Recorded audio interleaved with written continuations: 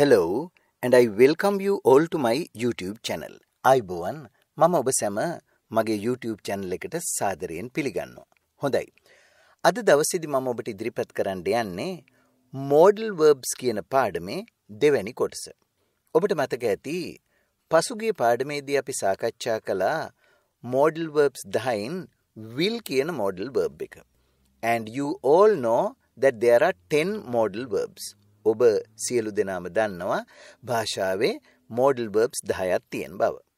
ඒවා තමයි will, shall, can, may, must, would, should, could, might සහ ought to කියන වචන. ඉතින් මේ වචන දෛනික කතාබහේදී අපිට ගොඩාක් ප්‍රයෝජනවත් වන නිසා මේ modal verbs ටික මුල ඉඳලා හොඳින් ඉගෙන ගන්න. එහෙමනම් අදත් පාඩම අවසන් වෙනකං අහලා හොඳට modal verbs යෙදෙන ආකාරය ඉගෙනගෙන භාවිතයට ගන්න.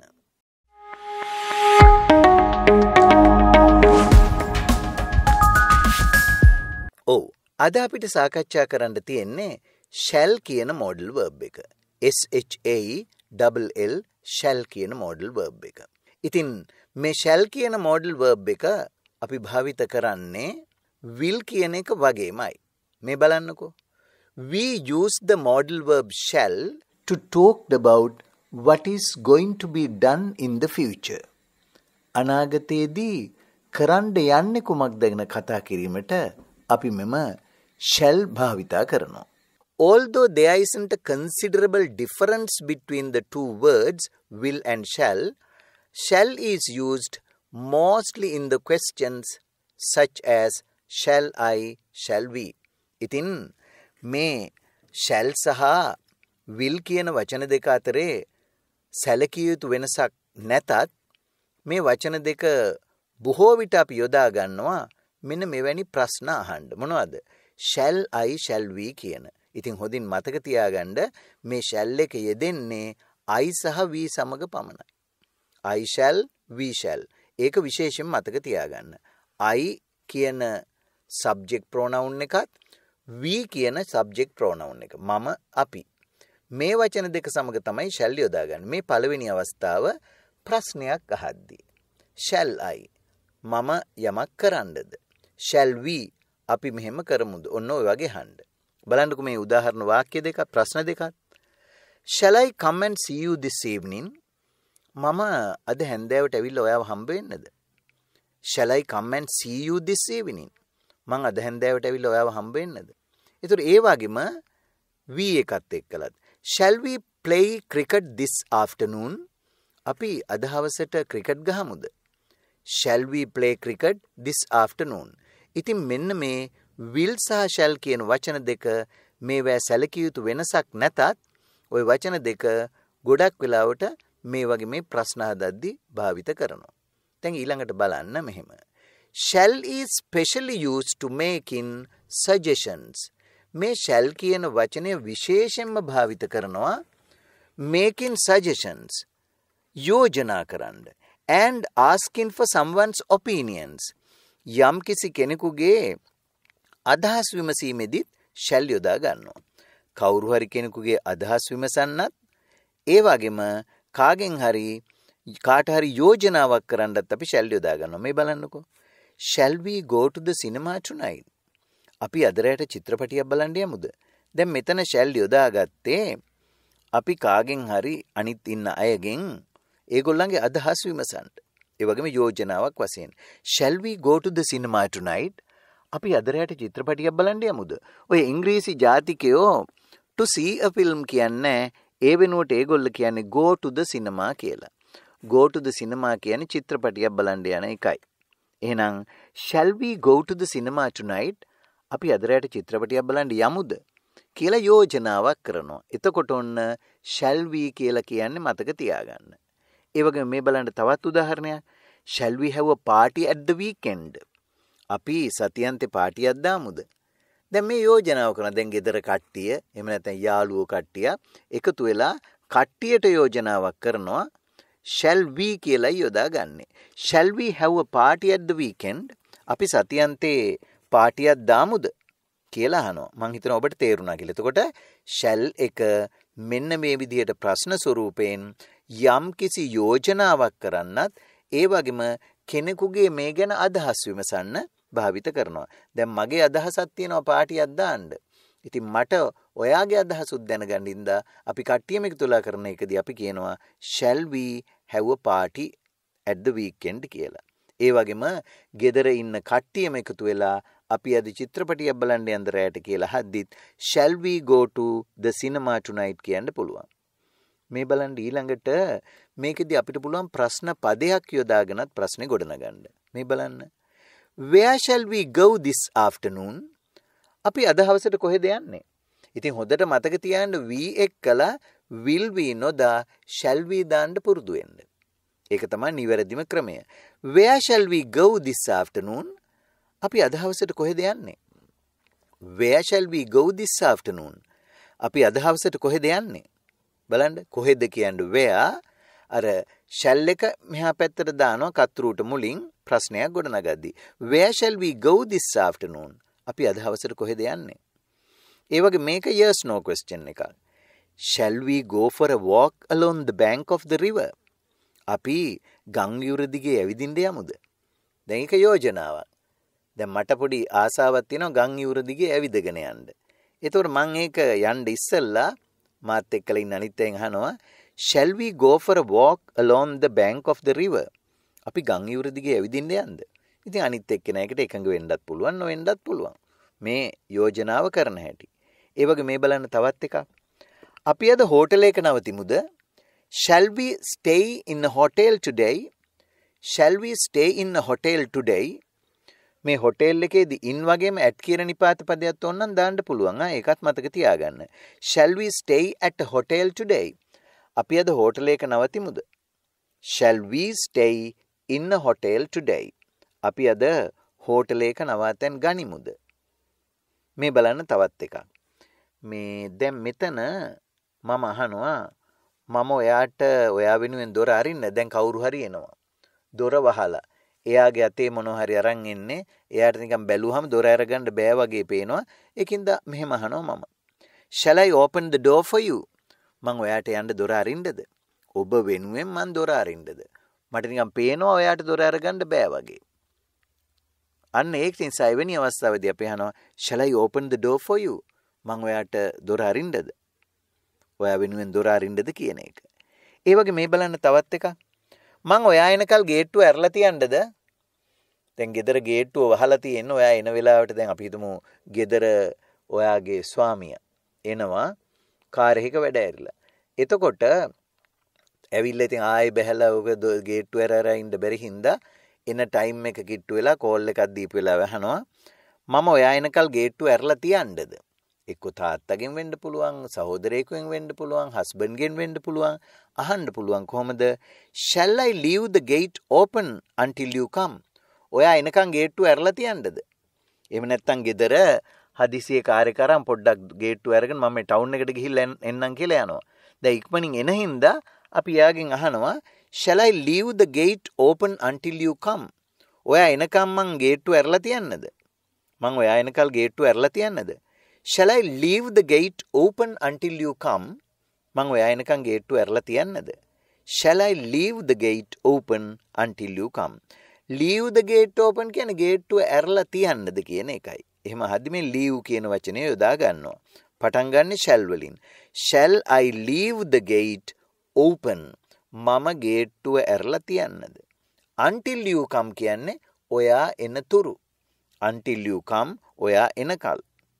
එහෙනම් දැන් මෙතෙන්දී ඕනම එකක් යොදන්න පුළුවන්. shall I leave the gate open? මම ගේට්ටුව ඇරලා තියන්නද? මම දොර ඇරලා තියන්නද? shall I leave the door open? මම ජනේලේ ඇරලා තියන්නද? shall I leave the window open? ඒ වගේ යමක් ඇරලා තියන්නද කියලා අහන්නේ එහෙමයි. ඊළඟට අපි බලමු shall be යෙදෙන හැටි. අර will be වගේ shall be ඔබ දන්නවා be කියන්නේ වේවි තිබේවි සිටීවි කියන්නේනේ. එතකොට හැබැයි මෙතන be එක යොදා ගන්නවා අපි යම් කිසි කෙනෙක් ගැන අහද්දි ඉඳීවි කියලා කියන්න වගේ. බලන්න මෙතන I shall probably be at home this weekend. මම බොහෝ විට මේ සතියන්තේ ගෙදර ඉඳී. අන්න බලන්ඩ අයි එක්කල ශැල්ලියෝ දන්න හෙම. මේ ප්‍රොබැබ්ලි කියන්නේ බොහෝ දුරට කියන්න ගොඩාක් වෙලාවට රයි මෝස්ට ලයික්ලි කියන එක. එකන්නේ I shall probably be at home this weekend මම බොහෝවිට මේ සතියන්තය ගෙදර ඉඳීවී. එම ගොඩක් වෙලාවට ඉන්ඩ ඉඩ තියෙනවා කියන එකයි. I shall probably be at home this weekend ඒවගේ මේ බලන්න. අද රෑට අපි බොහෝ විට ගෙදර ඉඳී. වෙනදනම් අපි රෑට ටික රෑවෙනවා අද රෑට අපි බොහෝ විට ගෙදර ඉඳී කියලා කියන කොහොමද? We'll probably be at home tonight. We'll probably be at home tonight. මේ will කියලා කතා කරද්දි කියන්නේ we shall කියන එක තමයි. we'll probably be at home tonight. අපි අද රෑට බොහෝ විට ගෙදර ඉඳීවි කියලා කියනවා. ඒ වගේම මේ බලන්න. I'll be ready before 8 o'clock. මම අටට කලින් සූදානම් වෙලා ඉන්න. අටට කලින්. බිෆෝ 8 o'clock කියන අටට කලින් කියන එකයි. එතකොට මම අටට කලින් සූදානම් වෙන්නම්. එහෙම නැත්නම් සූදානම් වෙලා ඉන්න. කොහොමද කියන්නේ? I'll be ready before 8 o'clock. I'll be ready before 8 o'clock. I'll be ready කිව්වේ I shall be ready කියන එකයි. I'll be ready before 8 o'clock. මම අටට කලින් සූදානම් වෙලා ඉන්න. ඒ වගේම බලන්න අර will not අපි want කළේ ඒ වගේ ශැල් නොට් කියන එක ශාන්ට් වෙනවා. මේ බලන්න. මං වැඩි වෙලා ඉන්නේ නෑ. මට වැඩි වෙලා යන්න මං ඉක්මනට එනවා කියලා වගේ කියද්දි කියනවා I shan't be long. කතා බහේදී ඔබට නිතර ඇහෙන ඔය ඉංග්ලිෂ් මූවීස් එම බලද්දී. I shan't be long මට වැඩි වෙලා යන්නේ නෑ. එහෙම නැත්නම් මම වැඩි වෙලා ඉන්නේ නෑ. ඉක්මනින් එන්නම් කියලා කියන්නේ කොහොමද? I shan't be long. හොඳට මතක තියෙන කතා කරද්දී මේ කොටස ඒ විදිහට පාවිච්චි කරන්න දැන් ඔයා කාට හරි කියන මේ පොඩ්ඩක් ඉන්න මම ටක් ගාලා එන්න I shan't be long මම වැඩි වෙලා ඉන්නේ නැහැ. ඉක්මනින් එනවා කියන අදහස ඒක කියවෙනවා. ඒ වගේ මේ බලන්න. තවත් නැති අර්ථ එකක්. මම හෙට කාර්යාලේ ඉන්නේ නැහැ. මං හෙට කාර්යාලේ ඉන්නේ නැහැ. I shan't be in the office tomorrow. I shan't be in the office tomorrow. මං හෙට කාර්යාලේ ඉන්නේ නැහැ. I shan't be in the office tomorrow. මං හෙට කාර්යාලේ ඉන්නේ නැහැ. ඊළඟ එක බලන්න. මම මේ සතියේ කොහෙවත් යන්නේ නැහැ. We shan't go anywhere this week. We shan't go anywhere this week. මම මේ සතියේ කොහෙවත් යන්නේ නැහැ. ගෙදර ඉන්නවා. We shan't go anywhere this week. මම මේ සතියේ කොහෙවත් යන්නේ නැහැ. මේ බලන්න තව එකක්. මම හෙට වැඩට එන්න ප්‍රමාද වෙන්නේ නැහැ. I shan't be late for work tomorrow. I shan't be late for work tomorrow. මම හෙට වැඩට එන්න ප්‍රමාද වෙන්නේ නැහැ. මම පරක්කු නොවි එනවා කියන එක පරක්කු වෙන්නේ නැහැ කියන එක කොහොමද කියන්නේ? I shan't be late for work tomorrow. I shan't be late for work tomorrow. ඊළඟ බලන්න. අපි ලබන සතියේ වැඩ කරන්නේ නැහැ. ලබන සතිය අපි නිවාඩු. අපි ලබන සතියේ වැඩ කරන්නේ නැහැ. We shan't work next week. We shan't work next week. අපි ලබන සතියේ වැඩ කරන්නේ නැහැ. ඒ වගේම ඔන්න දැන් අපි මීළඟට ගම්මු shall I එකයි will you එකයි යෙදෙන හැටි. අපි මීළඟට ගන්නේ shall I කියලා ප්‍රශ්නයක් අහද්දිත් will you කියලා ප්‍රශ්නයක් අහද්දිත් තියෙන වෙනස ගැන ඔබට කියලා දෙන්න යන්නේ. මේ බලන්න. මම දැන් කෙනෙක්ගෙන් අහනවා මෙහෙම. shall I shut the door? මම දොර වහන්නද කියලා යහන්නේ මෙතන. දැන් ඒකේ සරල තේරුම මම දොර වහන්නද? shall I shut the door කියලා නැහුවේ. හැබැයි මේකේ අදහස එන්නේ මම මේ දොර වහන්නද කියලා ඔයාගෙන් අහන්නේ මේ මා ඉස්සරහා ඉන්න කෙනාගෙන්නේ. ඒතර මං අහන්නේ යාගෙන් ඔයාට අවශ්‍යද මම දොර වහන එක? හරි? දැන් මා ඉස්සරහා ඔයා ඉන්නවා. දොර ඇරලා තියෙනවා. මට දැනගන්න ඕන ඔයාගෙන් මේ මම දොර වහන්න ඔයාට අවශ්‍යද කියන එක. ඉතින් ඒක ඉංග්‍රීසියේදී අහනවා shall I shut the door? නිකං සරලව ගත්තොත් තේරුම එන්නේ මම දොර වහන්නද කියන එක. නමුත් මේකේ ඇත්තටම අර්ථය එන්නේ ඔයාට මම දොර වහන්න අවශ්‍යද? මම දැන් මෙතන ඉන්නවා මට තේරෙන්නේ නැහැ ඔයාට මේක වහන්න අවශ්‍යද නැද්ද කියලා. මම ඔයා වෙනුවෙන් මේක වහන්න අවශ්‍යද කියලා අහන්නේ කොහොමද? shall I shut the door? shall I shut the door? එතකොට shall එක දාලා මේ ප්‍රශ්නේ ඇහුවොත් shall I shut the door කියන එකේ තේරුම එන්නේ ඇත්තටම මම දොර වහන්නද කියන එක තමයි. හැබැයි මම මේ අහන්නේ ඔයාගෙන් මම දොර වහන්න අවශ්‍යද ඔයාට කියන එකයි. ඊළඟට මේ බලන්නකෝ. දෙවෙනි එක will you shut the door? Will you shut the door? දැන් මම ඉඳගෙන ඉන්නවා. ඔයා දොර ගාව ඉන්නවා. රයිට්?